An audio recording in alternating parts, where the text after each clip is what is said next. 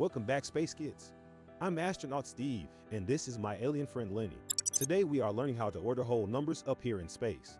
When ordering whole numbers, you might see phrases such as least to greatest and greatest to least.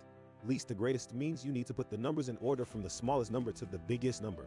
For example, if we had the numbers 6, 13, 2, and 5 and needed to put them in order from least to greatest, we would start with the smallest number, 2.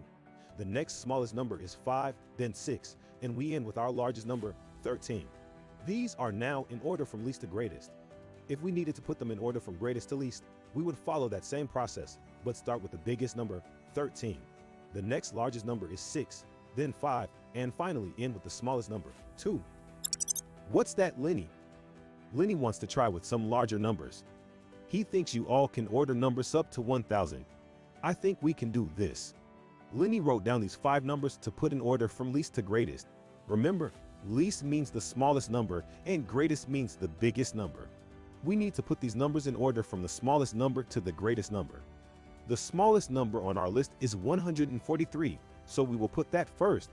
The next smallest is 389, so we will put 389 second on our list. The next smallest is 874, then 905. Our largest number is 999, so we will put that last on our list. Great work. These numbers are now in order from least to greatest. All right, Space Kids, you are ready to practice on your own. Pay attention to what the question is asking you to determine if you are going from least to greatest or greatest to least. Have fun.